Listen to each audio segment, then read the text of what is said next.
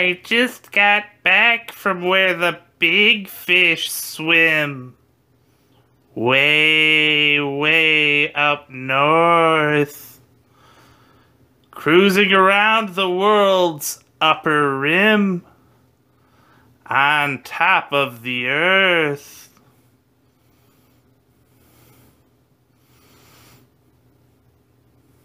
They were big.